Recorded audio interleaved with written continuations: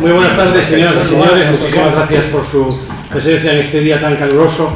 Eh, en, esta, en esta reanudación del curso del RIDEA, que como saben, eh, pues hace unas fechas, hace una semana, comenzó con la lección inaugural y ahora tenemos la segunda actividad de un programa de actos que se va a extender hacia el mes de julio del próximo año.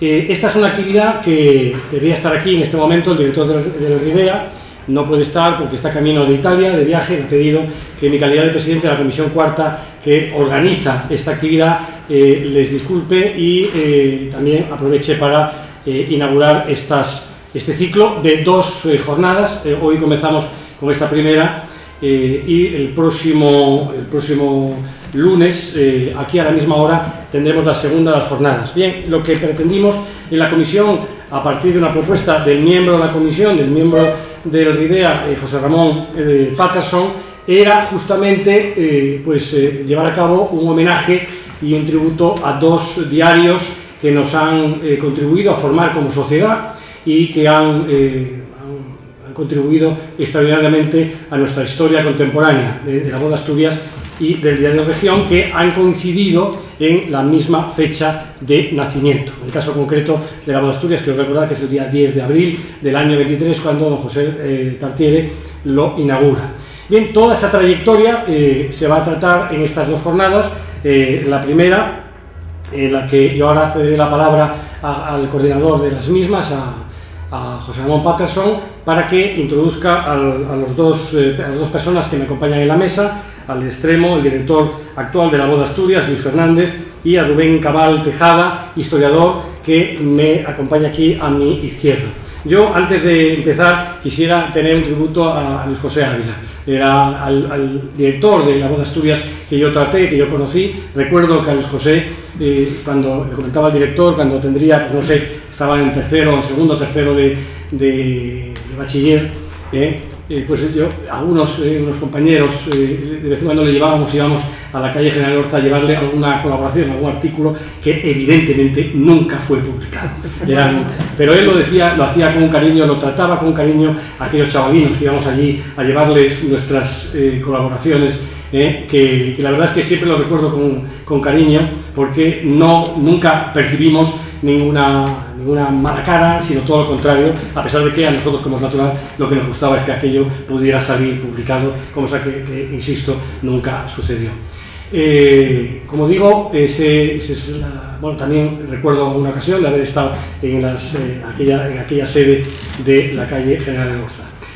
Sin más, le cedo la palabra al término de esta jornada, como es habitual en el, en el RIDEA, se abrirá un turno de preguntas, de reflexiones, de compartir experiencias por los que estáis aquí, habéis tenido la gentileza de acompañarnos esta tarde, pero como os digo, le cedo la palabra ya a José Ramón Patterson, miembro del RIDEA para, y coordinador de estas jornadas, para que introduzca a los ponentes de esta tarde.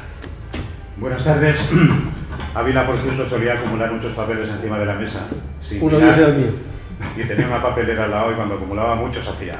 Pues ahí está, ahí va. Ahí va. Sí, como decía Javier Funceda, eh, este año es el centenario de, estos dos, eh, de estas dos emblemáticas publicaciones, La Voz de Asturias y Región, ambas nacidas en, en 1923. La Voz de Asturias, o mejor dicho, la voz, como siempre ha sido conocida ante los periodistas, a pesar de coexistir con otra voz, como era eh, la voz de Avilés. La voz de Asturias, decía, se difunde actualmente por internet y es lo que llamamos eh, un periódico digital. Región desapareció hace 40 años, en 1983, a finales de, noviembre, el 30 de noviembre se cumplirá eh, dentro de un par de meses eh, el aniversario de su desaparición, como decía, recién cumplidos los 60, cuando Internet, los teléfonos móviles, los ordenadores personales, la televisión digital y, por supuesto, la inteligencia artificial eran cosas absolutamente inimaginables, con lo cual no hubo más opción eh, que cerrarlo cuando entró en crisis, simplemente murió. ¿no? Eh, los periódicos, los medios de comunicación en general son importantes porque, entre otras cosas, nos facilitan a todos la conexión con nuestro entorno y mejor que nadie, pues ese papel lo juegan sobre todo eh, los periódicos eh, regionales, la prensa regional y local. Esto es periódicos como La Voz y Región.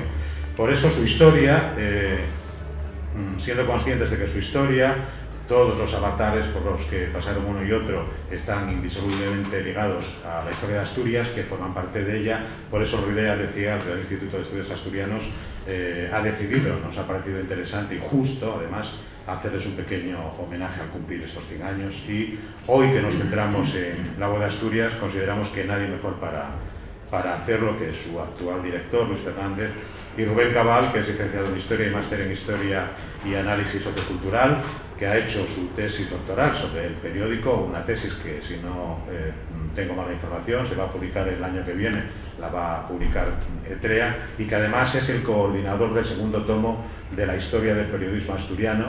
La primera se editó, se publicó en, eh, creo recordar, 2005, eh, en colaboración entre la universidad y la Asociación de la Prensa de Oviedo, y esta, bueno, pues está prácticamente en capilla para, para salir adelante. No, no hablo más. Eh, Luis Fernández, el director de, la Boda de Estudios.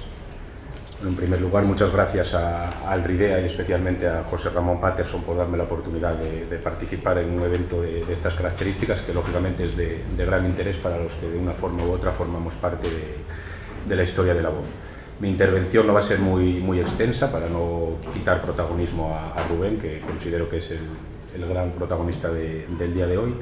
Voy a limitarme a, presentarlo y sí que quiero aprovechar la, oportunidad para dar un par de, pinceladas de lo que es la voz de Asturias a día de hoy y del trabajo que, desarrollamos. Rubén Cabal Tejada es licenciado en Historia por la Universidad de Oviedo, donde además ha cursado el máster de formación del profesorado y el máster en Historia y Análisis Sociocultural. Combinó sus estudios de, doctorado con cotutela entre la Universidad de Oviedo y la Universidad Sorbona, bajo la dirección del profesor Víctor Rodríguez Infiesta de Oviedo y Marie Blanc, eh, Franco en París. Este trabajo está al origen de la charla que nos impartirá hoy, ya que se trataba de un proyecto sobre la memoria oral del diario de la voz de Asturias entre los años 1963 y 1986. Ya en el 2020, y tras varios años dedicado a esta tarea de investigación, se le concedió el título de doctor internacional, obteniendo la calificación sobresaliente cum laude, por el que además logró un curso más tarde el premio extraordinario de doctorado. Ha realizado parte de su carrera en Francia, trabajando como docente desde 2018 en la Universidad de Normandía, el nombre te, lo voy a dejar a ti para no, para no meter demasiado la pata, y desde 2020 en la Universidad Sorbona. Actualmente desarrolla una estancia de investigación en la Universidad Autónoma de Madrid, contratado por la Universidad de Oviedo como investigador postdoctoral Margarita Salas en relación a un proyecto sobre la memoria del periodismo diario madrileño en los años del tardofranquismo y la transición. Además es miembro de la Asociación de Historia Contemporánea, de las Sociedades Hispanistes, de la Asociación Franco-Española dedicada al estudio de los impresos periódicos Pilar y de la recién creada Red Ibérica de Historia Oral. Sus investigaciones sobre la voz comenzaron en el año 2013 en el marco de la memoria final del máster en Historia y Análisis Sociocultural. En este trabajo se interesó por los primeros años de vida de la cabecera que nos ocupa y posteriormente se dedicaría con mayor profundidad a conocer su historia durante los años 60, 70 y 80, un periodo en el que La Voz tiene un nuevo editor, Amado Belema, y como nos expondrá en su comunicación, este diario comienza a tener una renovada presencia en la región. Añadir por último, y como bien decía José Ramón, para todos aquellos interesados en el tema, que una monografía derivada de su tesis doctoral será publicada en 2024 por la editorial TREA. Eh, ciñéndonos un poco a lo que es la voz de Asturias hoy en día, voy a, remontarme brevemente a, la década de los 90 del siglo pasado, porque es a partir de ahí, aunque ya venía de atrás, cuando se acentúan un poco los problemas económicos, estos eh, continúan con la entrada del nuevo siglo, y toda esta situación derivó en varios eh, cambios de, en la propiedad de, la cabecera, huelgas, reestructuraciones de, plantilla y el cierre definitivo del, periodo, del periódico en el mes de abril del año 2012. Para todos los que formamos parte de, aquella redacción fue un pequeño shock porque aunque puede considerarse visto con perspectiva fue la crónica de, una muerte anunciada precisamente por todas esas, esas crisis, al final siempre había una solución y esa, esa solución no llegó en el año 2012 y, como bien decía, fue el cierre definitivo del papel. A partir de ahí, un grupo de, compañeros, liderados por Ángel Falcón, que está hoy aquí entre, entre nosotros y que fue el director hasta hace apenas unos meses, fundó el periódico Asturias 24, fue el primer nativo digital de, de Asturias y ese proyecto se fue consolidando, fue, fue creciendo y asentándose en la sociedad hasta que en el mes de mayo del año 2016 lo compró la, corporación Voz de Galicia. Eh, además de comprar Asturias 24, recuperó la, cabecera de, la Voz de Asturias y ese es el, germen del periódico en la, actualidad.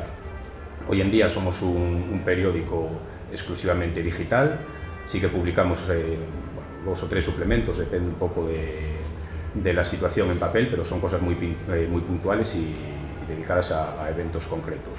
Nuestra gran ventaja en un tiempo en el que Internet va cambiando y lo hace a un ritmo muy vertiginoso es que somos, tenemos todo el contenido en abierto, somos la, opción elegida por, miles de asturianos cada día para, informarse y eso lo demuestra la audiencia, que como bien sabéis hoy se mide todo y en Internet todavía, más y el compromiso que tiene la, la Voz de Galicia es que siga siendo así, en abierto y que el proyecto continúe a, a medio o largo plazo.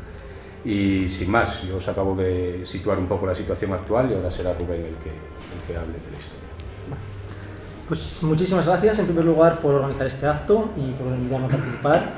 Eh, al Ridea, José Ramón, que hemos intercambiado varios eh, mensajes a lo largo de estos meses de, preparación de este acto y a Luis por estas amables palabras que has tenido y bueno, también por eh, el buen trato que siempre me has dispensado en las pocas semanas que nos conocemos. Em, el proyecto de Boda Asturias, eh, voy a comenzar diciendo que espero ser lo más breve y ameno posible. Eh, un historiador adora hablar de la historia, adora hablar del pasado, e imagínense hablar de su tesis doctoral, ¿no? un proyecto al que he dedicado prácticamente 7, 8 años de mi vida y que yo creo que me va a acompañar a lo largo de mi, carrera futura.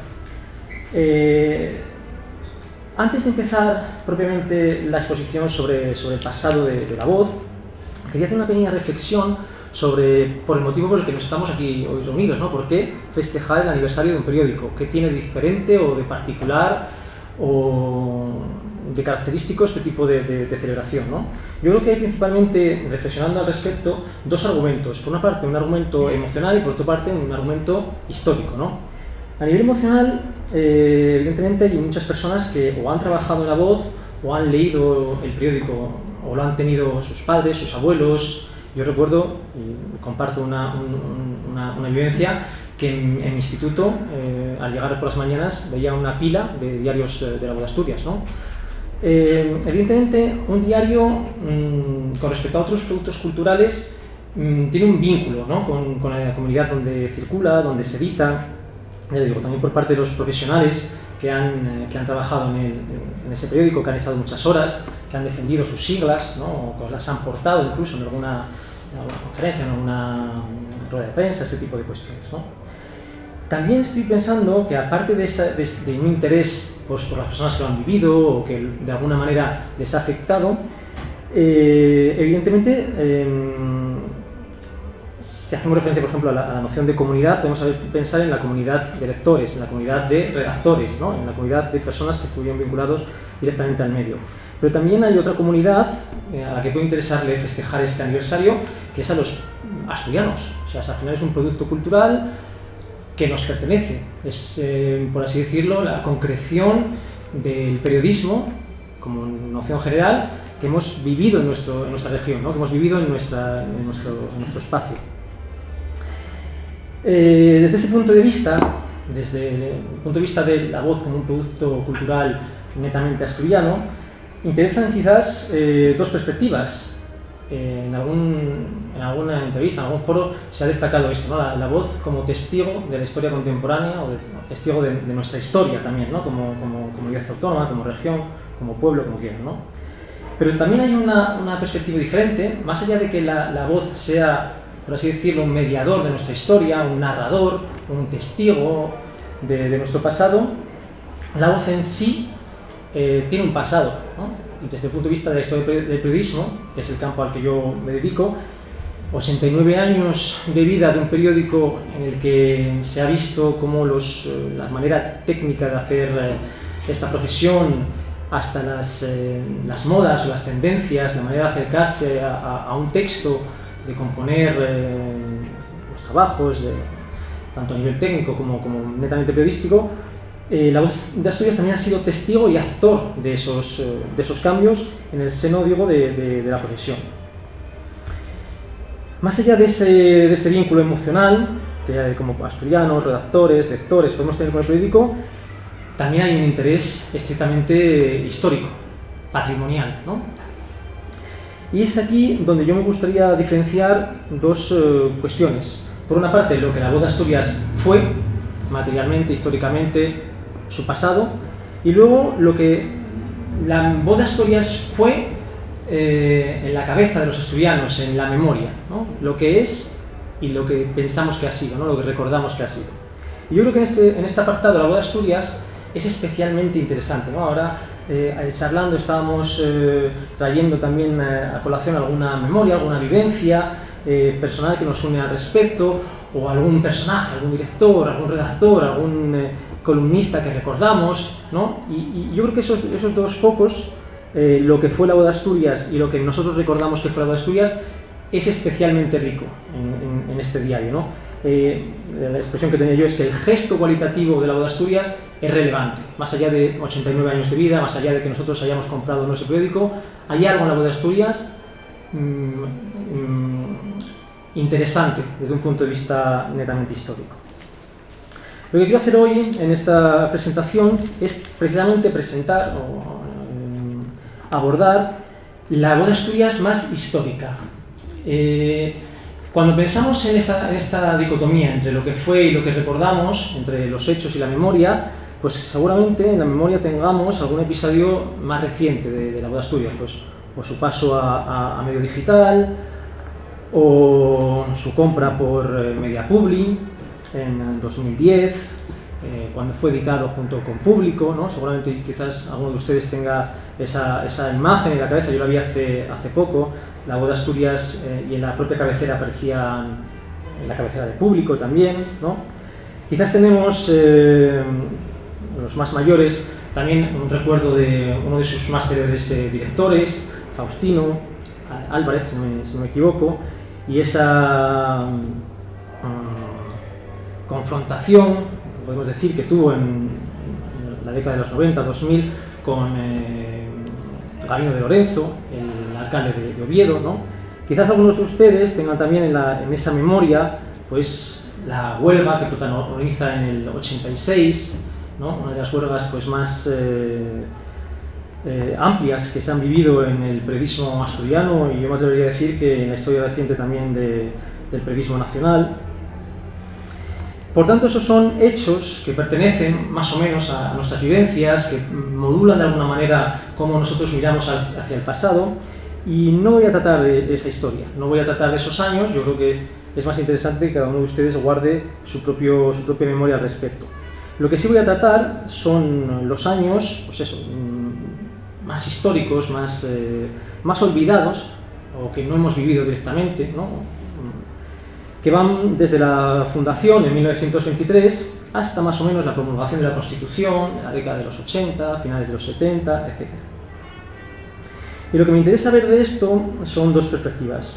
Por una parte, eh, que la boda Asturias, sobre todo en sus primeras etapas, en la dictadura de Primo Rivera, Segunda, eh, Segunda República, eh, Guerra Civil, franquismo, era un diario netamente conservador, en un primer momento pues por la propia inercia de su, de su, fundador, por el propio motivo por el que fue fundado la Boda Asturias, que es por una parte la rentabilidad económica, pero por otra parte también eh, la imagen pública, por así decirlo, o empresarial de, de, Tartiere. Eh, y luego en un marco quizás del, franquismo, aunque no tenía ese impulso de, ser um, un motor o un, altavoz de la familia Tartiere, porque ya estaba un poco más eh, eh, despreocupado del periódico, hablo de los años 50, eh, sí que todavía mantenía un carácter netamente a favor de la dictadura. había tomado partido durante la, guerra civil y no había ambajes, no había dudas de, su filiación política en esos años. es en los 60 cuando vamos a ser testigos de un cambio en la línea ideológica del periódico, pero también yo me atrevería a decir, no sé, o en su actualidad, en su modernidad, en su manera de presentarse a los asturianos, ¿no? Eh, coge una nueva impronta, un nuevo impulso, como algunos de los testigos lo, que yo he podido entrevistar lo caracteriza, y es, desde mi punto de vista como historiador, en estos años, antes eh, del 66 eh, y los años posteriores al 66, tomo esta, este, esta fecha de referencia porque es el momento en el que se promulga la ley de prensa conocida como Ley Fraga, ¿no? Eh, cuando realmente la boda Asturias, por así decirlo, cambia su rumbo, cambia su orientación y pasa a ser otra cosa. Eh, antes hablando con ATPA me, me preguntaban eh, qué es lo más relevante de, de, de, la charla. Yo creo que, desde mi humilde opinión, es precisamente ese cambio de cualidad que se da en los años 60 en relación a lo que es la boda Asturias. Y me atrevería a decir que ese gesto o ese, ese, cambio, esa, esa, ruptura, o como quieran calificar, o transición que hay en esos años, eh, son la raíz eh, de lo que luego en nuestra memoria va a ser la boda Asturias. ¿no? Ese progresismo, ese aperturismo, ese reporterismo, esa eh, preocupación por los asuntos de los, de los asturianos nace precisamente en estos años y mm, para, mí, para mi punto de vista están a raíz de lo que más adelante eh, todos conocemos como, como la voz. Eh, quizás simplemente algún dato cronológico de, esto, de esta primera etapa. Nace, como bien eh, se señalaba anteriormente, el 10 de abril del 23. Se trata de una iniciativa muy ligada a, su fundador, Tartiere de Negre, Previamente ya se había hecho con la propiedad del Correo de Asturias, diario liberal fundado en 1890, y de hecho la maquinaria de la Boda Asturias eh, pertenecía en origen a, este otro diario. Eh, vivimos esos años, eh, durante la, guerra, la Primera Guerra Mundial, Asturias sufre un alza económico, pero en los años 20, sin embargo, estos años que, son los que ven alumbrar la, la, Boda Asturias, estamos en una etapa de, crisis, de, recesión. Por tanto, sorprende que sea precisamente en esa época cuando Tartier decide llevar a cabo una, empresa, una nueva empresa, eh, con las características que tenía la Boda Asturias entonces. ¿no? Hay algún dato de que los tres primeros años eh, daba pérdidas, era un balance negativo. Este dato me hace pensar que eh, todavía estamos eh, en estos años se produce una, evolución de la tradicional prensa de partido, que no buscaba ningún tipo de, rédito económico, simplemente transmitir una ideología, una determinada sensibilidad política, e intentar eh, convencer, persuadir a los otros a través de, esos medios, y la prensa, que se asemeja mucho más al modelo que tenemos nosotros actualmente, de empresa, en la que lo que se busca es llegar a un máximo número de lectores y que sea una empresa eh, lo más rentable posible. ¿no? Como les digo, estos tres primeros años de vida, mm, el balance fue negativo y mi duda fue, eh, o, mi, posición es que quizás estamos todavía en un, espacio transicional, un espacio en el que todavía convive ese modelo de periódico que lo que quieres o que buscas con, él es transmitir una serie de ideas pues, por unos intereses propios o colectivos, etcétera, y este otro modelo de negocio en el que lo que ya persigues es netamente una actividad eh, comercial. Este es el caso también de otros dos diarios que nacen en esta década, La Prensa, Gijón es eh, La Prensa, que nace en 1921, y en Región, que nace también eh, unos meses más tarde, en julio de 1923, y ya son diarios que con respecto a lo que había hasta ese momento, el noroeste, el comercio, el Carballón, eh, están en un espacio, digamos, transicional. Quieren transmitir ideas, pero también quieren eh, ofrecer un periodismo que, se venda, ¿no? que, que, puede llegar a generar beneficios. Este diario nace en los últimos años de la restauración y nada, a, a las pocas semanas de, ver la luz va a tener lugar el golpe de Estado de Primo de Rivera, que va a obligar, en cierto modo, al diario a posicionarse. ¿no? Eh, en general, toda la prensa asturiana mmm, se va a mostrar positivo al, al, golpe de Estado. Quizás la cabecera o el diario que, que menos simpatía mostró al dictador eh, fue el Noroeste, que por ejemplo con motivo de una visita de, de, Primo de Rivera en 1927 a Asturias no recogió ese acto en, sus páginas. Pero sin embargo, eh, Asturias podemos, o sea, la de Asturias podemos sin ningún tipo de duda eh, indicar que estaba a favor del, del régimen. Quizás con algún matiz, es verdad que hay algún artículo, algún editorial en el que a pesar de estar a favor del golpe y del régimen militar, eh, aboga pues porque mm, este sea lo más transicional o provisorio posible y se avance hacia un eh, régimen civil. Lo más llamativo de estos años, de estos primeros años del periódico, quizás es la red de corresponsales que se empieza a, gestar en 1926, a iniciativa de, de Onieva, su primer eh, director. Este personaje era inspector eh, de enseñanza en primaria y esto se percibe mm, de una manera muy llamativa en las páginas del diario, ya que además de mm, especiales, eh, calificados como especiales pedagógicos, en el que se trataban cuestiones de interés para, para, el profesorado asturiano, pues muchas veces este director está ausente, ya que tiene que hacer campañas pedagógicas, va a visitar eh, pues, museos o lugares de otros países. ¿no?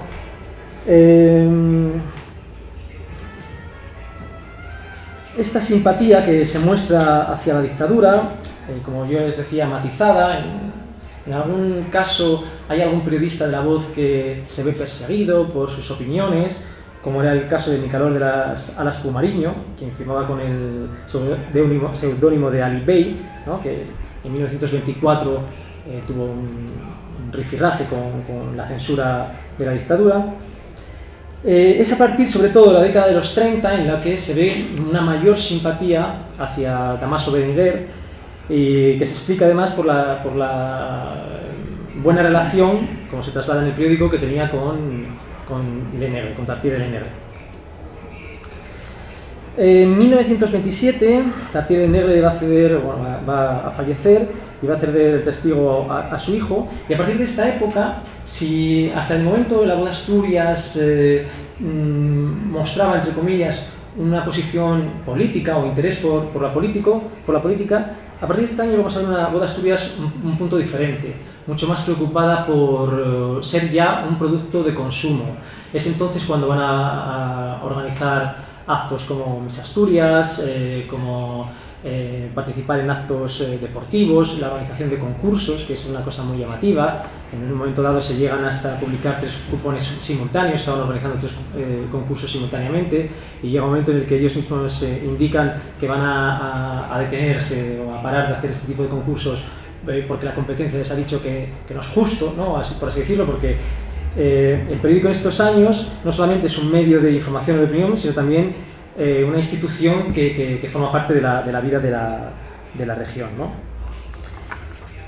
Avanzando los años, encontramos ya el inicio de la dictadura, de la República, de la Segunda República, disculpen, en el que mmm, se le va a fear uh, a la voz de Asturias manifestarse eh, a favor de, de, este nuevo régimen político. Va a ser región quien la fe, sobre todo, sus deudas, con, entre comillas, con la, con la monarquía eh, Onieva, el director, va a defenderse diciendo que él personalmente, como autor de ese, editorial, no tenía deudas con la monarquía en ningún caso y que eh, lo que pretendían, aceptando la, Segunda República, era salvaguardarla del desenfreno y de la algazara con la cordura, ¿no? una posición pues, eh, pragmática, podríamos decir, hoy en día. Avanzando en, el tiempo, en esta Segunda República, vamos a ver como todas las cabeceras asturianas la mayoría de, tinte conservador, a excepción del socialista Avance, van a tener posiciones cada vez más maximalistas, más polarizadas, y lo que tiene sentido sobre todo si pensamos en el gran evento de esos años, que es eh, octubre del 34. Es un factor que va a dividir a la población asturiana y eso también lo vamos a ver reflejado en las cabeceras. ¿no? En el caso de, de la de Asturias se refería eh, cuando reaparece tras el golpe de Estado, tras, tras, la revolución, como quieran calificarlo, como un, eh, el rencor marxista que, culpable de la ruina de la tragedia. ¿no? Calificaba entonces eh, como los grandes culpables del 34, eso, el rencor marxista y calificaba lo sucedido esos años como ruina y tragedia. Eh, esto en todo caso no es llamativo, es, forma parte del tono que toma la, prensa en general esos años. Tenía otro ejemplo por aquí en, relación a las críticas que se hacía entonces a la represión que estaba llevando a cabo el ejército, pues Región calificaba estas críticas como una indignante y asquerosa campaña de, de mentiras y un ultraje al ejército español. ¿no? Por tanto, vemos a los, a los medios asturianos, estos años 34, 35, 36, casi en una situación similar de los medios hoy en día, ¿no? con una, un polarismo, una polarización política muy grande y un tono bastante beligerante ¿no? en, la, manera de, de marcar eh, sus posiciones. Eh, así llegamos al atenimiento de la guerra civil, eh, en el que bueno, es célebre Avance, el diario socialista, que uno de los pocos que puede dar la, la, noticia de la sublevación en Melilla, el 17 de julio, es la frase en la que llaman a defender eh, la región con cojones y dinamita, ¿no? siempre la expresión, siempre eh, con, con, comillas, entrecomillada. Lo que vamos a ver aquí, durante los años de la guerra, es que pasamos de un sistema hasta entonces liberal, eh, en el que la, la, información y la opinión tienen sentido ya que permiten a la opinión pública formarse, y es lícito que haya diferentes tendencias, etc., pasamos a un sistema de propaganda, en el que los medios de comunicación, radio o prensa, solo tienen una, una, función, hacer a tu bando ganar el conflicto. La de Asturias y región en esos años van a asumir ese rol. Eh, los primeros meses, eh, además, eh, si recuerdan, tuvo lugar el sitio de Oviedo. Oviedo quedó flanqueada por, por los republicanos. E incluso en, esos, en ese contexto se, publicaron ambos, ambos diarios. Eh, las condiciones eh, materiales del periódico eran bastante, bastante deficientes, imagínense, eh, era complicado acceder al papel, las fuentes de información eran siempre gubernamentales, estaba en un conflicto donde había bombardeos, donde había incursiones del bando contrario, etc. De hecho, el propio edificio de la Boda Asturias fue bombardeado en estos años, una circunstancia que más tarde, en la década de los 50, 60, eh, Arangala frente a la administración franquista, pues como una suerte de medalla, ¿no?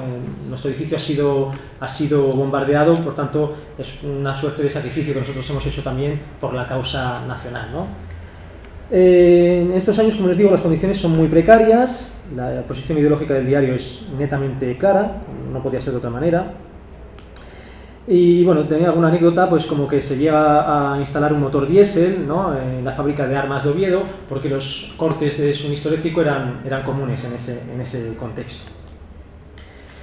Una vez finalizada la guerra, bueno, en primer lugar en el, en el 37 vamos a ver cómo ya en el, desde que se corta el, el, cerco, vamos a ver cómo esa precariedad va a pasar a, a otro sistema en el que tanto región como la Asturias se van a, a incorporar a la red informativa que ya en ese momento estaba, estaba mm, organizando, o Falange, o, si quiere de manera más general, el bando, el bando golpista. Entonces pasamos en un momento en el que la precariedad de noticias pues eran tomaban las noticias de la radio que podían escuchar o, o de comunicados oficiales, pasamos ya a un sistema en el que eh, los diferentes medios de, pertenecientes al bando rebelde pues comparten información entre ellos y ya es un, producto distinto. Eh, vemos estos años también el advenimiento de otra cabecera, la que va a ser la gran competencia de de Asturias o de región, que es la Nueva España, cuyo propósito en el primer número es bastante elocuente, eh, contribuirle a la reconstrucción nacional tras haber aplastado bajo el peso de las armas el marxismo. pasamos así entonces a los primeros años, las primeras décadas del franquismo, años 40, años 50, una vez finalizada la guerra, y lo que nos vamos a encontrar es que la censura mm, va a pasar factura, eh, va a haber por una parte también una depuración de periodistas, el régimen franquista va a dotarse de un instrumento, la ley de prensa del 1938, eh, que va a permitir eh, controlar todas las informaciones que circulaban en, el país. Lo va a hacer de diferentes etapas, o sea, diferentes eh, flancos. Por una parte la censura, todos los, diarios pasaban por, una lectura y se decía lo que se podía o lo que no se podía publicar, una censura previa. Además de eso, las empresas periodísticas tenían que contar con el visto bueno de la dictadura, por tanto no, era, no podíamos libremente organizar un medio si no contábamos con el visto bueno. En ese contexto, además, incluso contando con el visto bueno, si quisiésemos montar una empresa, sería también la dictadura quien nos daría el visto bueno sobre quién ocuparía el cargo de director o, directora, iba a decir, pero en ese, caso, todavía mayoritariamente directores.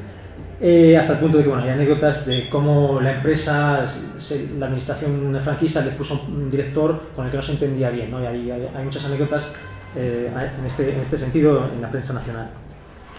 Eh, además de esto, además de controlar la empresa, la dirección y las informaciones directamente a través de la censura, se va a, controlar quién podía ejercer la profesión. El, el registro oficial de, periodistas que va a controlar pues, si las personas son aptas o no para, para, para ejercer esa labor.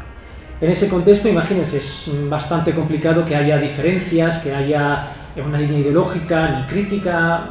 Lo que vamos a encontrar en esos años en toda la prensa asturiana, pero también nacional, es una homogeneidad tremenda.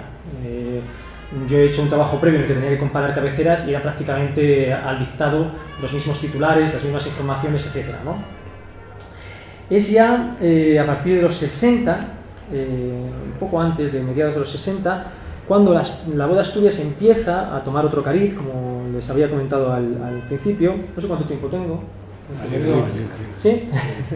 Me iba a hablar y eh, es en, los años 60 eh, cuando a través de, mm, eh, de, una, información indirecta yo me encuentro con que ponen una multa al, entonces director de, la Boda Asturias, desde 1949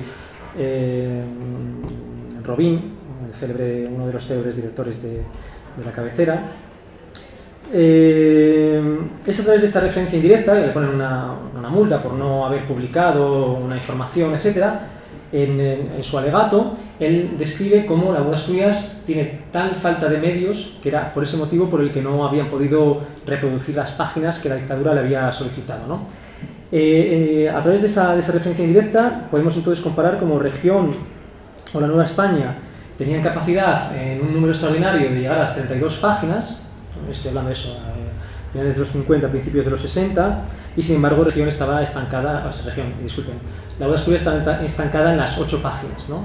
Además también eh, a, nivel de maquinaria, de material de impresión o de composición, eran bastante, bastante viejos. La pista que me dio esta, esta referencia, que luego pude refrendar con testimonios, es que en esta época mm, los Tartiere no estaban eh, ya interesados por mantener un vínculo directo con el periódico.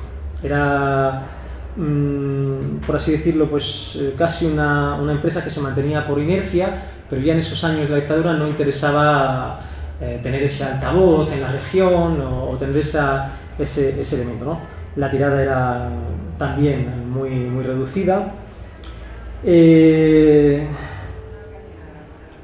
Luis José Ávila, que antes traía en la memoria, eh, sobre esta, época decía que los Tartire ya querían quitarse el muerto de encima, ¿no? o quitarse de en medio la boda de Asturias.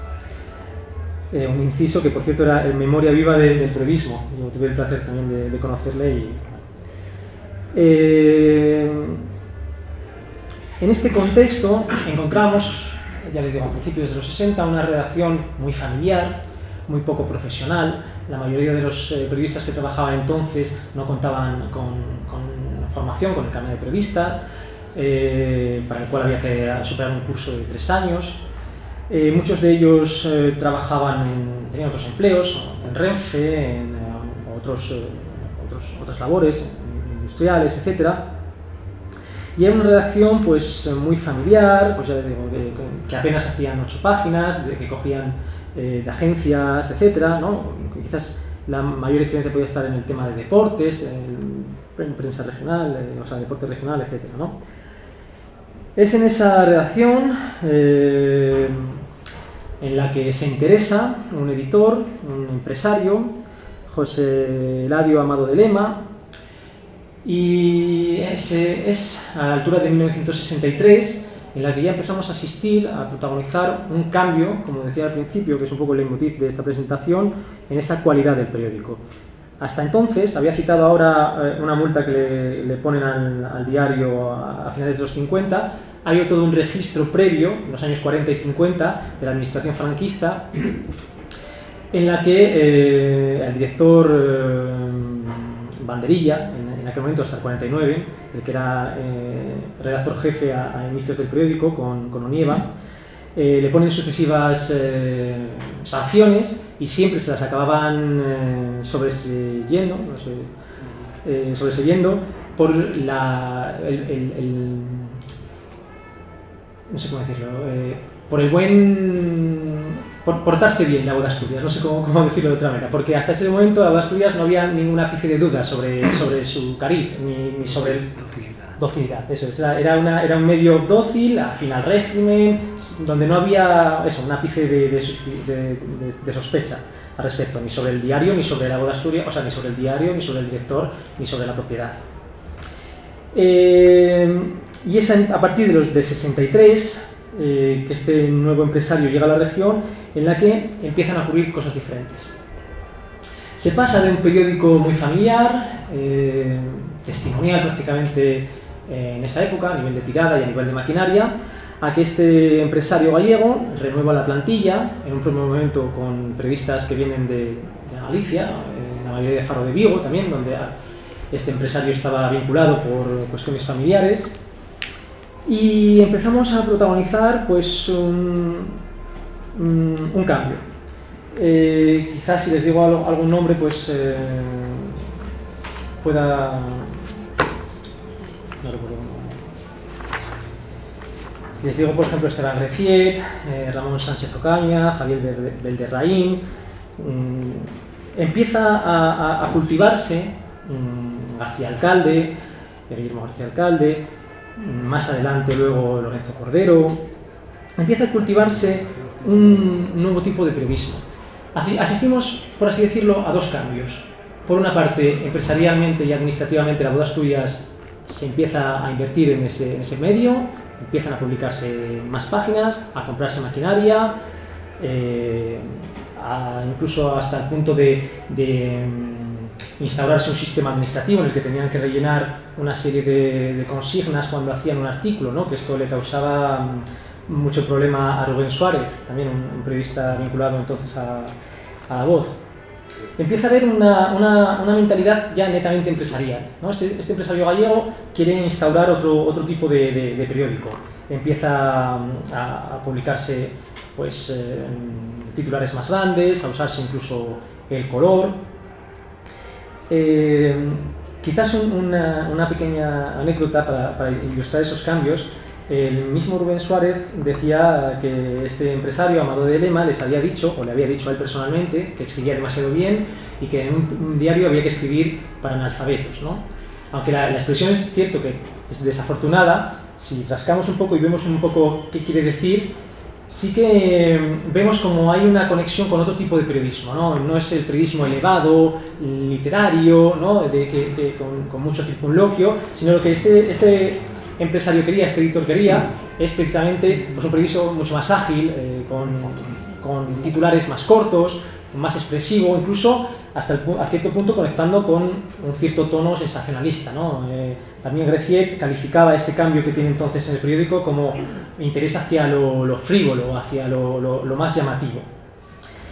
Eh, estos primeros años, eh, 64, 65, 66, hasta la promulgación de la segunda de la ley de prensa de, de 1966 de, de Fraga, que ya va a cambiar un poco las reglas del juego, eh, en realidad las cuestiones políticas siguen intactas. La Boda Asturias sigue siendo un, un medio fina, afín al régimen. No era, no era posible eh, ser crítico en esos años, donde todavía la censura se aplicaba.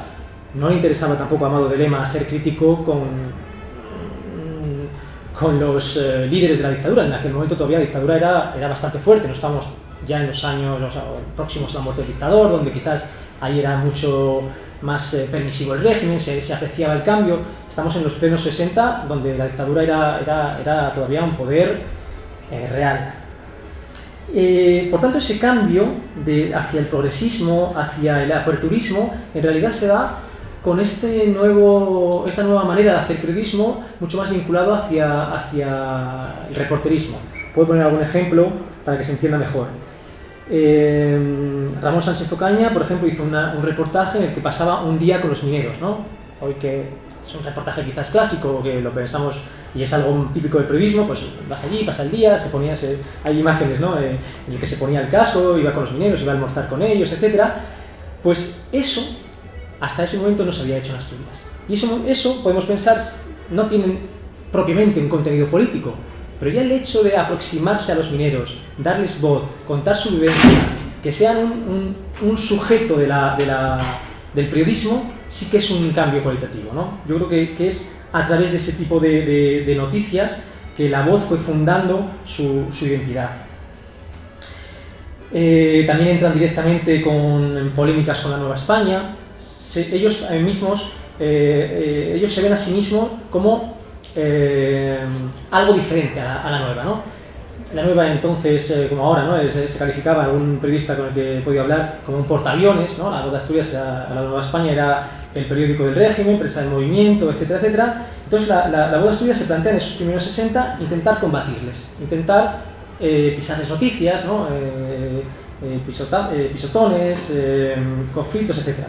Uno de los más célebres tiene lugar con motivo de un festival de la canción que hubo en Ribadeo, que el periodista que se encargó de la noticia por parte de la Nueva España, si mis informaciones no me fallan, yo juraría que, que era Diego Carcedo, pues dijo que aquello que era, no era ni un festival ni era nada, que era pues eh, una trupe, me parece que es la expresión que, que utilizó, ¿no? que era ca casi como un, una ficción, ¿no? era cuatro charangas ¿no? y que no era un festival ni era nada. ¿no?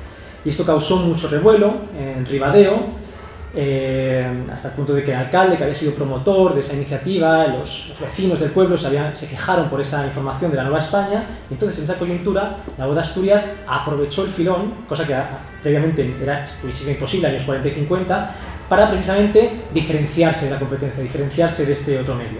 Lo que hicieron fue mandar a un reportero, no, no recuerdo, quizás eh, había sido Sánchez Ocaña, y eh, creo que sí, porque además me parece que su mujer era de la zona y, lo mandaron por ese motivo a, a. Eh, y entonces lo que hicieron, pues, eh, la Boda Asturias, tomar partido por parte del alcalde, de los vecinos, ¿no? hasta el punto de poner en duda de si la Nueva España se creía con legitimidad de poner o quitar alcaldes por ser el medio de, del régimen. ¿no? Que eso si lo, lo, vemos en clave política era bastante peliagudo porque los alcaldes también pertenecían al régimen, ¿no? Entonces, bueno, aprovecharon, por así decirlo, esa, esa coyuntura para diferenciarse y mostrarse como un, periódico de oposición, un periódico diferente al, al, del, al del establishment, por así decirlo.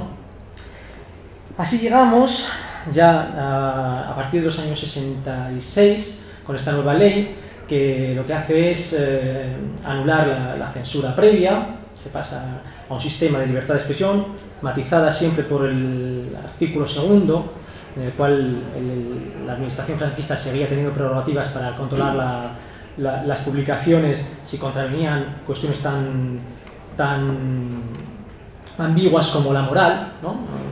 era, como por así decirlo, una cláusula que permitía, permitía eh, a la administración ser bastante eh, arbitraria. ¿no?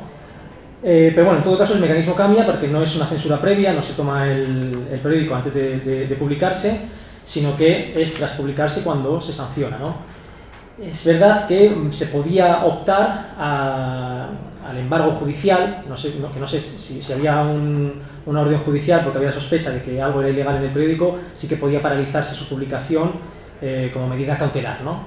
Pero bueno, eh, en todo caso el sistema cambia, ya no es una censura directa, y es a partir de este momento en el que los periodistas, tanto a nivel nacional como a nivel asturiano, en el caso de Asturias, empiezan a eh, echar un pulso a la dictadura, a nivel eh, de aumentar las cuotas, las cotas de la libertad de expresión. Es a partir de este año eh, cuando ya empezamos a ver a Luis José Ávila encargarse de la información laboral, a entrevistar a las, ya las sensibilidades que empezaban a organizarse políticamente, a recoger los problemas de, de, de los mineros, de los trabajadores, etc.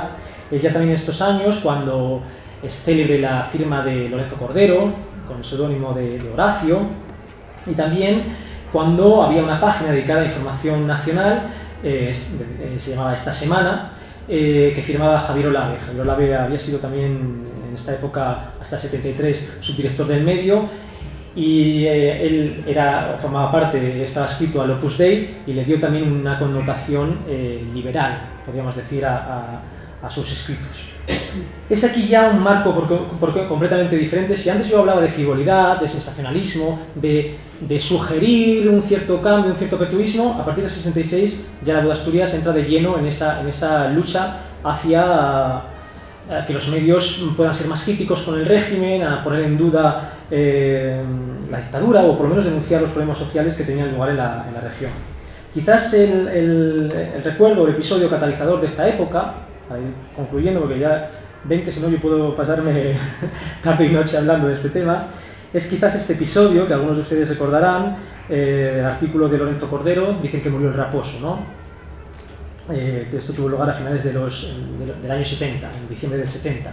Se publicó esto, dicen que murió el raposo, eh, es un ejemplo de este periodismo críptico que insinuaba, ¿no? de convención con el lector, el lector Mm, esto eh, surge mm, durante las guerras eh, mundiales, ¿no? Cuando hay sistemas que aplican una censura muy fuerte, pues se acaba realizando ese periodismo en el que hay una suerte de conveniencia con el lector, un guiño, ¿no? Para eh, intentar escapar a los ojos del, censor o, de la autoridad que ejerce ese poder.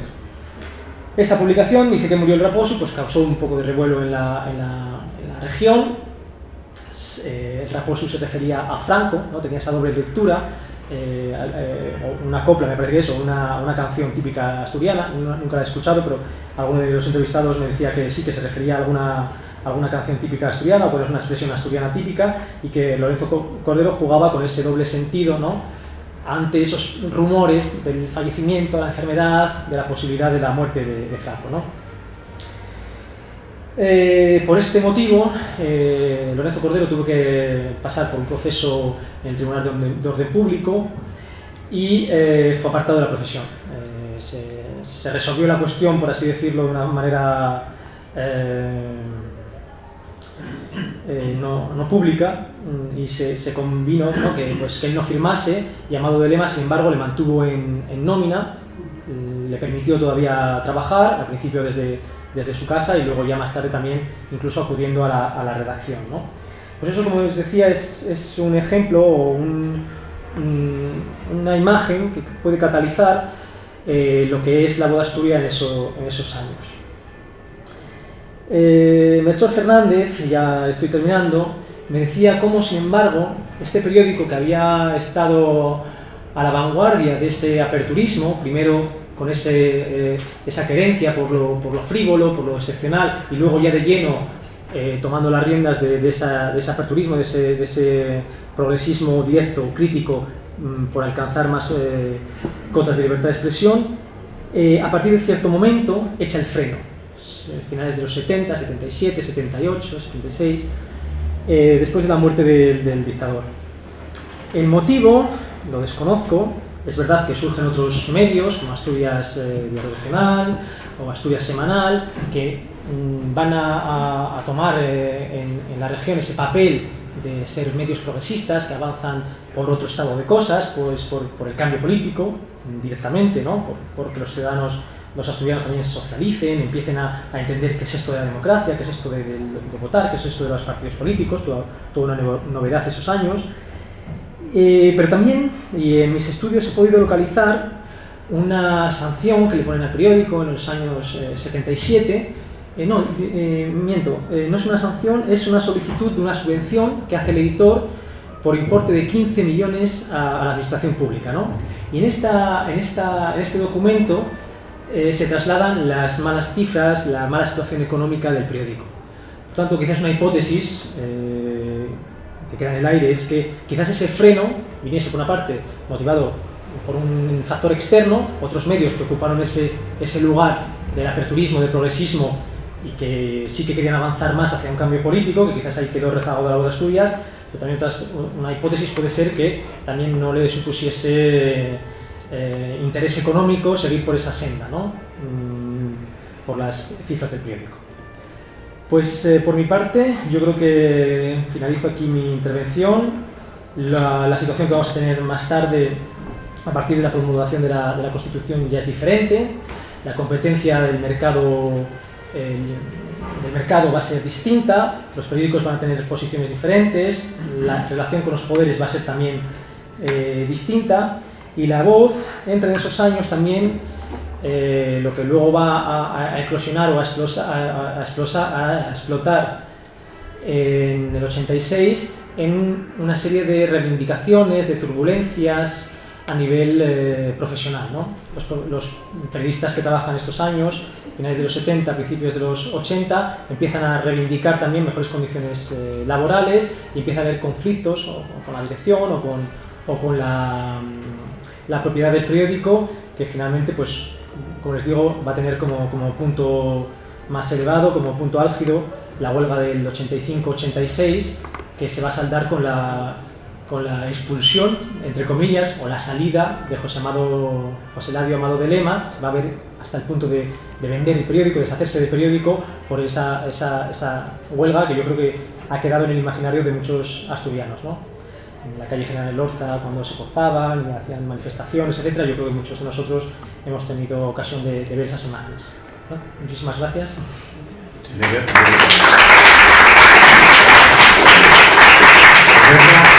esas imágenes y algunos de los que estamos aquí de participar también en, en, en aquellas concentraciones aunque no teníamos nada que ver. Yo no sé si Javier, ¿quieres decir algo? Sí, eh, ahora como os decía al comienzo, se abre un turno de intervenciones para abrir eh, el, fuego.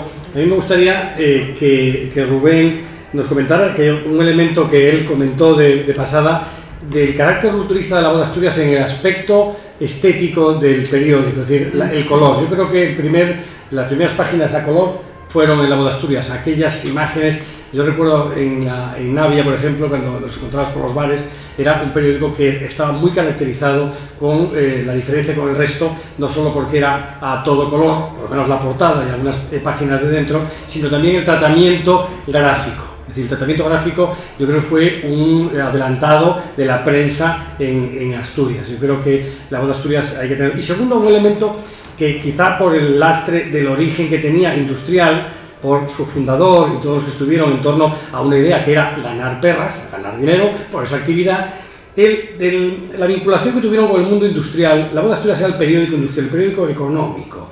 Eh, tanto es así que yo creo que en una etapa, al final, eh, tuvo hasta un suplemento sepia que yo creo que no se vio sobre economía, que creo que lo dirigía Mario Bango, que no hubo ningún suplemento de, de economía eh, que se veía en algunos periódicos nacionales y por lo tanto yo creo que ese es un segundo elemento adicional y después también como fábrica de los grandes periodistas de, que ha tenido Asturias, ¿eh? que, muchos de ellos, como aquí nos ha dicho el ponente, han tenido su actividad en la, en la Boda Asturias. No solo Esteban decir que me gustaría tener un recuerdo cariñoso para él, también para Guillermo García Alcalde, para Ramón Sánchez Ocaña, pero también para José Manuel Vaquero. En fin, hay, muchos de los grandes, eh, de los grandes periodistas que hemos tenido, solamente algunos se me quedarán en el tintero, que han después desarrollado su vida en otros medios, pero que en la voz Asturias hicieron sus primeras sus, primeras, eh, sus primeros pinitos. ¿no? Yo creo que esos, esos tres elementos, el carácter innovador de su imagen gráfica, el segundo, el asunto de su vinculación siempre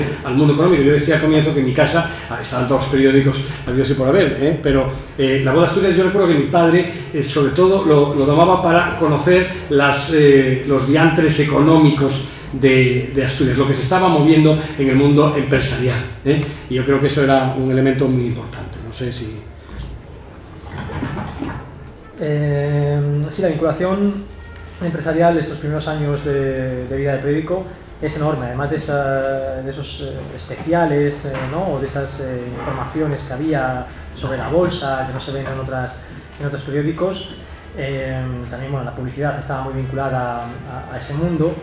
Eh, hay que tener en cuenta que en ese momento en Asturias había dos tipos de, de o dos clases, por así decirlo, de burguesías. Una burguesía pues mucho más eh, tradicional, anclada en eso, en las viejas costumbres, más vinculada a la aristocracia, eh, bueno, pese a que también Tartiere eh, ostentará el, el, el, título de, de conde de, de, Santa Bárbara de Lugones, y sin embargo, eh, la Boda Asturias está vinculada a una burguesía mucho más eh, joven, por así decirlo, mucho más eh, anclada no tanto en esos valores eh, tradicionalistas o tradicionales, porque tradicionalista remite a otra, a otra cosmovisión, eh, pero mucho más interesados pues, eh, por el mundo económico, pues por, eh, no sé, podríamos decir, eh, eh, si hoy pensamos en términos actuales, pues quizás en el seno del PP pues habrá personas pues más eh, con valores católicos o anclados en, eso, aspectos de la tradición y otro sector pues más liberal que lo que quiera es eh, un progreso económico, un progreso social, etcétera. Pues un poco ahí eh, había también esa dicotomía y la voz de Asturias había asumido un papel importante en, en, relación al segundo grupo. el aspecto, es que apenas me ha dado tiempo a comentarlo, pero el aspecto de la presentación, como yo lo califico en, en mi trabajo, cómo evoluciona eh, tanto a nivel del color que se, se ve, eh, hay alguna imagen, cómo se hacen hasta colas para coger esos primeros números por la novedad que implicó en, en, en la región, ¿no? en, el Principado. Y, pero también eh, cuestiones como muchos de los testimonios eh, lo comentaban, el tema del reparto, repartirlo a una hora específica para que en el cambio de turno los mineros pudiesen tenerlo, ¿no? O cómo en las noches, eh, pues eso, Nochevieja, pues se dejaba un bloque a la salida de las, eh, discotecas o de las, bueno, Reconquista, no discotecas, pero bueno, esos centros donde la gente se reunía para pasar la noche, ¿no? Eso también eh, imprime un carácter diferente, es un vínculo pues más próximo con el, con el día a día, ¿no? Otra cuestión, hablando con el tema de memoria, aunque ya saltamos a otra, a otra época, es el tema de los suplementos, ¿no? Los años 90, la de Asturias pega un, un, salto cualitativo enorme. Las cifras que llega a alcanzar en la tirada de los fines de semana y los domingos, tengo algún dato, llegaba a los 60.000 ejemplares. Eh, era verdadera, una verdadera locura. Y bueno, yo creo que muchos de nosotros tenemos el recuerdo, si vamos a, a las bibliotecas públicas eh, asturianas, de ver como muchas enciclopedias son de la Boda Asturias, son, eh, son extras que se, que se daban en la Boda Asturias, suplementos, etc. ¿no? Y eso también, yo creo que hasta incluso la última etapa eh, acompañó a, a, a este diario, ¿no? Es, eh, es algo propio. No sé si me queda alguna... No, no, no, no, Puede ser. Hay, Muchísimas gracias. Hay, hay preguntas. Por favor. Diego primero. Sí. Bueno, eh, enhorabuena por la charla. Eh, mi pregunta es muy concreta, ¿no? Aquí en la ciudad, en Asturias, siempre se identificó la Voz de Asturias como un periódico de izquierdas, frente a otros periódicos de derechas. Y aquí en esta ciudad quedó marcada la rivalidad entre Faustino Fernández Álvarez y Gabino de Lorenzo. Quedó muy marcada esa rivalidad. Y quedó tan marcada esa rivalidad que, por ejemplo, en la entrevista que le hace Carlos Novoa a Faustino, ya que están en YouTube de hora y pico, Faustino reconoce que él pierde la guerra, pierde la lucha y que Gabino le da la gran estocada a la voz de Asturias. Y el gerente de la voz de Asturias entonces, el señor Joaquín de la Huelga, reconoce que baja, baja, baja, baja todo lo que el ayuntamiento metía en la voz de Asturias, a favor del otro periódico rival, a favor del otro periódico rival. Y entonces llega un momento que la voz de Asturias muere en papel, ¿no? Entonces la pregunta que hago a la mesa en general de veteranos es cómo la sociedad civil puede defenderse de los nichos ideológicos políticos, de que yo quiero cerrar este periódico porque es el altavoz de los trabajadores, porque es el, altavoz de los mineros, porque es el altavoz de los oprimidos, y me interesan los otros, y empiezo a liar, a liar, a liar, hasta que, digamos, ahogo a un medio de comunicación, ¿no? Porque que yo sepa, el propio Faustino lo decía muy claramente, un periódico tiene dos fuentes de ingresos, aparte de aquella broma que hacía de Eros y Tánatos, ¿no? De, de, los muertos y las putas, ¿no? Pero tiene dos fuentes de ingresos. Eh, el kiosco y los ingresos propiamente de publicidad, ¿no? Entonces, esta historia, ahora hay un libro interesantísimo de Naomi Klein, por, Polarizados, donde eh, eh, cada vez esto se está extendiendo más, ¿no? Entonces, la pregunta es, ¿cómo la sociedad civil cómo la sociedad periodística, cómo, cómo la sociedad en general se puede defender de los tuyos y los míos.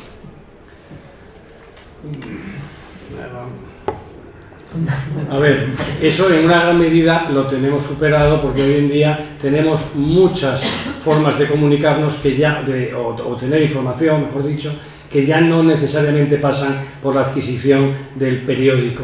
Es decir, hoy tenemos, bueno, hay un muro de pago en muchos, eh, muchos medios, pero hoy en día, lo que comentábamos Patterson y yo, yo el viernes estuve en una redacción de un medio importante eh, digital en Madrid y me dieron los datos de la venta de los ejemplares de El País y de la ABC. Es decir, esa tirada de la voz de Asturias que comentaba eh, Rubén, o sea, es que la triplicaba. Eso sería inviable porque hoy en día eso ha caído a peso a plomo lo que es la venta de periódicos. Por lo tanto, esa historia que comentas, eh, que, se, pudo suceder, eso hay que situarla en un momento en el que solo había el monopolio de esos medios de comunicación escritos y era bueno, pues fácil poder llevar a cabo ese tipo de actuaciones. Ojo, en un sentido o en el contrario, porque también hay que ver que también ha habido operaciones de acabar con un medio de comunicación, pienso ahora el, Alcázar, Alcázar era un periódico que se vendía como rosquillas en, Madrid especialmente y en otras partes de España, y ese periódico eh, es que murió por la ausencia de la publicidad institucional, que después ganaron el pleito correspondiente en el Supremo cuando ya estaba muerto ese medio, con lo cual no podemos hablar eh, de una forma parcial de esa realidad porque la hay en un sentido y en otro. Y en los dos sentidos es malo. Yo no estoy diciendo que, sea eso bueno, pero lo que digo es que eso ha aparecido ¿eh? en un sentido y en otro y deberíamos todos reflexionar por qué se está utilizando esos medios. Pero lo que voy a decir es que hoy en día, con el acceso, la Boda Asturias hoy en día es un periódico que no tiene muro de pago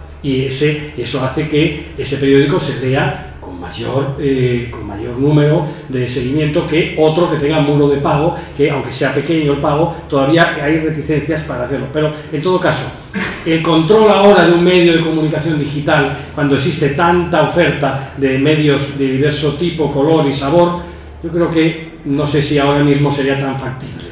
Es decir, si un ayuntamiento de determinado color quiere acabar con un determinado medio digital, ¿cómo se las ingenia? ¿Comprando el qué? ¿Dejándoles de, poner publicidad? Bueno, aparte que eso hoy en día está también bastante pautado y regulado por la jurisprudencia de los tribunales. Y eso no se puede hacer, porque las tiradas son las que marcan lo que hay, por tanto, el dinero tiene que ir, en principio, para eso, no para que el dinero tuyo o mío, que nosotros pagamos en los impuestos, que ya es, sea destinado para uno u otro. Esa es la cosa. Sí, como, decía, los medios de comunicación ahora mismo, en mi opinión, ¿eh? no son eh, los medios de comunicación impresos, que es de lo que estamos hablando, que es el, el problema, yo creo, que, que, suscitabas tú. No son lo que eran. Cuando estudiábamos empresa periodística, nos contaban que el 60% de los ingresos tenían que provenir de la publicidad y el 40% eh, de, de, la venta del periódico. Eso quiere decir que vas a estar siempre vendido, utilizando esta palabra en el doble sentido, a los dueños de la publicidad. En este momento la publicidad en los medios de comunicación tradicionales está por los suelos. La publicidad ya no se dirige a la prensa escrita. La prensa escrita eh, ha caído en picado en España, ¿eh? en otros sitios, en Estados Unidos, está creciendo otra vez como, como la espuma. Y en Francia, periódicos como West France eh, siguen vendiendo 600.000, 700.000 ejemplares. Que manda la publicidad. Cuando la publicidad baja, te tienes que tirar a las manos de quien te ofrece el dinero y el que te ofrece el dinero en este caso es el que manda. Eh, ocurrió en aquel caso con la de Asturias y bueno, pues puedes ver cómo van basculando la publicidad institucional eh, en función, por supuesto, de la tirada. Pero cuando hay competencia, como decía Javier, es mucho más complicado porque hay jurisprudencia de a dónde tiene que ir. El problema es cuando no hay competencia. Cuando no hay competencia, el dueño de las perras, el que las pone en el medio de comunicación, las pone o las deja de poner simplemente. De todas maneras, eh, a, otro sitio. Es así, es como dice José Ramón, exactamente así. De todas maneras, eh, hace algunos, eh, algún tiempo, el director de uno de los principales diarios de, de, Latinoamérica, él a mí me comentó que dice, la gente piensa que un medio de comunicación vive de lo que de la publicidad, de lo que realmente las empresas o administraciones pagan. Están equivocados. Un medio vive de lo que no publica. Eso se logra. Es decir, no de lo que publica, sino de lo que no publica, de lo que embarga y que lo cobra de otra manera. Es decir, que esa forma civilina, eh, que no solo hay en América, sino también en cualquier lado, que bueno, pues nosotros conocemos, hay noticias que son, eh, eh, son públicas que no salen en los medios. Esa, esa, esa situación es pagada, es pagada. No, no, no, lo digo ¿Eh? coño, eso es el Lola. El Lola vive. yo no sé, Lola, yo no estoy diciendo uno, pero eso ha sucedido. Es decir, que yo pago eh, por una cantidad porque no salga determinada información. El Lola vive Esa, eso es algo de conseguir exclusivas a costa de lo que no publica. Es decir, vamos a ver, yo por ejemplo, puedo poner un ejemplo. Hay, hay un medio de comunicación nacional que es un, es, eh, ha sido toda la vida verdaderamente mm, eh, brillante a la hora de omitir, eh, de omitir por completo, de ningunear por completo cuestiones que estaban en el patio social. y que lo han hecho además con un tecnicismo importante para que no saliera y que incluso cuando ya es algo eh, total y absolutamente de, vamos, de dominio público, pues te lo, te lo publican en una página eh, par abajo, es decir, para no, eh, para no, vamos, para no en fin, justificarse demasiado. ¿no? Javier, ¿tenemos algún antiguo rockero de la voz de Asturias? Digo antiguo, que no viejo, porque viejos a partir de 50 no somos ninguno, pero tenemos algún antiguo rockero de la voz de Asturias como Luisma que quería hacer alguna pregunta. Sí, bueno, después de entrar en este asunto de gran injundia, volver a, lo anterior. No entres en él, no entres en él. No, lo voy a entrar, lo voy a entrar. Solo, solo, me recuerda Estamos hasta mañana. Que, en la voz eh, decíamos, se decía, que era mayor la autocensura de la voz de Asturias que la censura de la Nueva España. Cuando se evitaba publicar alguna información que podía el director consideraba que podía ser conflictiva, pues no se publicaba y lo veíamos en la Nueva España con gran cabreo de que se hubiera trabajado. ¿no? Lo pude ratificar también Ramiro, que formó parte de aquella redacción. Yo me quería referir a supongo que en tu tesis estará recogido cuando eh, se publicó La Voz Deportiva. Los lunes salía la hoja de lunes y paraba la nueva ley, la, Voz de Asturias, ideó, la propiedad ideó sacar la Voz Deportiva. Yo soy una víctima de eso, porque es que trabajábamos todos los días de la semana. La primera huelga, que no sé si está recogida ahí, la tenía noticia de ella, Melchor sabe porque fue de testigo a nuestro juicio, y José Luis López del Valle y algún otro, pues fue que nos plantamos a, trabajar los domingos por lo que nos pagaban, que eran 400 pesetas. Y ideamos pedir mil pesetas. Entonces nos despidieron algunos, hicieron de esquiroles, alguno que fue muy mencionado aquí, que no vive, no lo voy a decir, ¿eh? y coincidió también con la época de eh, que Lorenzo Cordero estaba inhabilitado y lo presionaron hasta donde no está escrito para que fuera a cortar teletipo, ¿eh? aquellos domingos que... Pero bueno, me refería sobre todo eso en, la Asociación de la Prensa, bueno, pues por lo menos lo que yo creo que no fue bien visto que saliera esa competencia que era solo deportiva y no sé si de eso tiene, supongo que sí. De, hecho, de hecho, si no recuerdo mal, Luisma, corrígeme si me equivoco, o, el mismo Rubén si, si lo estudió, eh, la Asociación de la Prensa denunció en reiteradas ocasiones a La Voz Deportiva, que en todo caso era un periódico, si no recuerdo mal, vespertino, que fue lo que se, eh, lo que se hizo para que no entrase en competencia directa con, con la hoja de luna. Sí, esto de la, de la voz eh, deportiva, eh, pues yo creo que fue una iniciativa llamada de Lema. Él ya había, o, él o, su equipo, en Faro de Vigo, antes de, venir a, Asturias, también había un, faro deportivo, o sea que es una, una iniciativa que, que, replica en la región y ponía en conflicto la cuestión del descanso dominical, eh, tanto para los periodistas como para, para talleres. Eh, sí lo tengo registrado, hubo este tipo de, conflictos ¿no? laborales mm, y luego yo tengo también documentado, eh, tenían inspectores para ver la hora en la que salía, porque tenía hasta una determinada hora no podía salir, ¿no? había alguna, alguna una cuestión de estas. ¿no? Luego más adelante pues ya se va a acabar el, descanso dominical y los eh, periodistas van a tener que sufrir ¿no? y las hojas del lunes van a desaparecer. Eh, si no me equivoco, mm, fue ABC, me parece, quien empezó con esta, historia a nivel nacional. Fue unos años eh, un poco más tarde. Pero bueno, la, voz deportiva era, era muy interesante y, implica también un poco esa nueva identidad pues más abierta hacia, hacia cuestiones un poco de menos enjundia o de menos cariz político que también toma la, la de Asturias. ¿no? Antes de sacar la voz deportiva ya habían ampliado el número de páginas de deporte, lanzaban un suplemento semanal, eh, o sea, no, no, un día diferenciado ni una cabeza diferenciada, pero sacaban un suplemento eh, semanal con unas páginas eh, específicas de esto y bueno, los redactores, las personas encargadas de, deportes, yo creo que además son luego muy célebres, han tenido una, larga trayectoria. López del Valle señalabas ahora, yo también tuve ocasión de hablar con él y eh, se sabía casi las eh, alineaciones de todo el fútbol regional de memoria, incluso cuando yo lo entrevisté en 2017, así que... Y hablando, si me perdonas un pequeño apunte, hablando de ediciones vespertinas, eh, en esas de la propia voz de Asturias está el llamado borrón que el mismo dice de Ramón Sánchez Ocaña en su carrera, que fue lo del Vígamo de ¿Qué era Cuente, cuente qué es el Vígamo de El Vígamo de pues, eh, trascendió que un, hombre de Avilés que estaba casado se había casado con otra mujer, que me parece que habían, y habían huido en una Vespa, quiero recordar, que apareció en el Cabo Pellas o por ahí en algún sitio abandonada. Entonces, esa noticia la, siguió Ramón Sánchez Ocaña.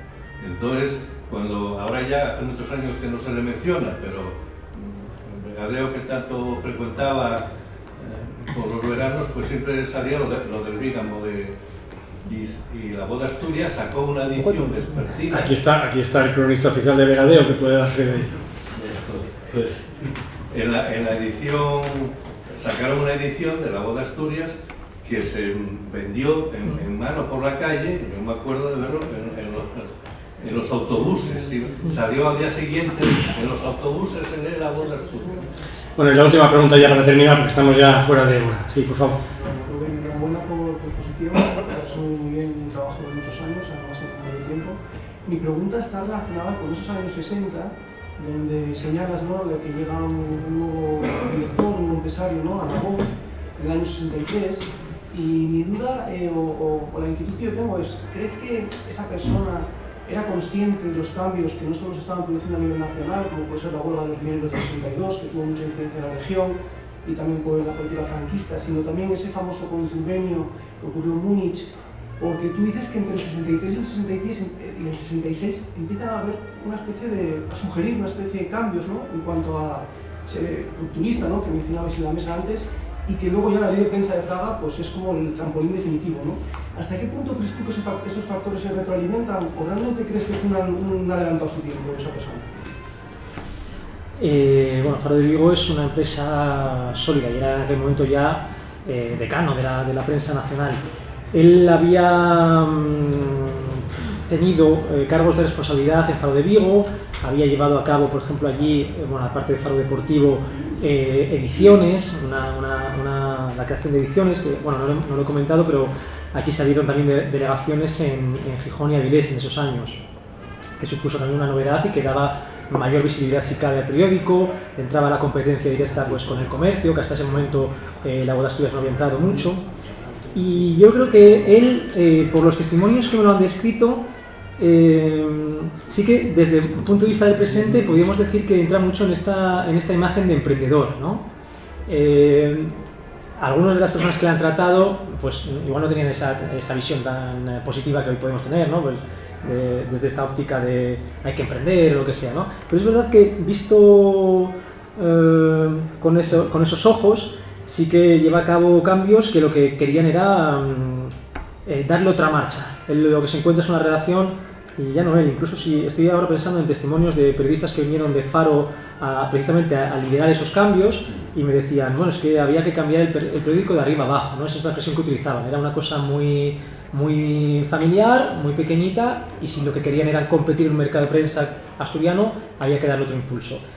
Yo sí que creo que era consciente de ese, de, ese, mm, de querer hacer una empresa atractiva, un producto atractivo con el color, eh, hacer inversiones para luego que eso tuviese eh, un, rédito. Sí, pero en lo ideológico. Eso eh, sí. Pero yo creo que en esos primeros años lo ideológico, no, lo ideológico está desterrado. Más adelante sí. Y hay un episodio que precisamente lo protagoniza García Alcalde, no sé si es en el 67, 68, en el que es el propio editor el que le pide eh, replicara un artículo que había, que había circulado de Anson en el ABC eh, sobre una cuestión de la monarquía, etc. Y le pide precisamente a, García Alcalde hacer un editorial a sabiendas o con la intención de que ese editorial fuese polémico y causase polémica a nivel nacional. ¿no? Eh, yo creo que lo que él quería más bien, más que ser crítico en la región, etcétera, porque no tenía vínculos con Asturias, luego llevó a cabo una, una aventura empresarial también en el, en el, sur de España, él lo que quería era entrar en esta oposición eh, durante los eso, finales del franquismo, del franquismo, etcétera, esa oposición liberal, esa, esa, es, tener ese, ese hálito ¿no? de, de, de, de unirse a ese grupo. ¿no? y le pidió que hiciese un artículo y evidentemente ese artículo pues luego fue replicado en todos los eh, medios a nivel nacional y sí que le dio un poco ese, esa posición. De hecho, él lideró durante varios años o presidió, o yo, yo, yo juré que llegó a presidir, a presidir la Asociación de Editores de Prensa de España, ¿no? o sea que él quería formar parte, otra expresión de Luis José Ávila, y estoy hablando de memoria, eh, la imagen de, de, de, Amado Lema que me llega a mí es la de ser un eh, ciudadano Kane a la asturiana, ¿no? es una expresión de, de Ávila. Me parece, a mí me parece mucho, yo creo que fundamentalmente Armado de Lema era un oportunista. Bueno, sí. Otra cosa es que él, él se citase diciendo, porque nosotros, los Luca de Tena, Amado de Lema, somos dueños de periodistas. Sí. ¿Querías decir algo, Ramiro, por último? Un apunte telegráfico, mira. Eh, Ramiro también fue trabajador histórico de la bien. Vamos a ver, no Lema era hombre profundamente contradictorio. Ahora bien, dentro lo conocimos como desalmado de Lema. bueno, pues eh, han sido ustedes muy amables eh, por esta, esta vamos interesantísima primera fase de este ciclo, primera jornada de este ciclo. Quedan ustedes convocados para el próximo lunes, día 9 de octubre, en, el mismo, este mismo salón, a las 7 de la tarde, eh, para abordar los 100 años de región donde bueno, pues nos va a hablar sobre región Gustavo Bueno Sánchez, presidente de la Fundación Gustavo Bueno. Muchísimas gracias por su presencia. Se levanta la sesión.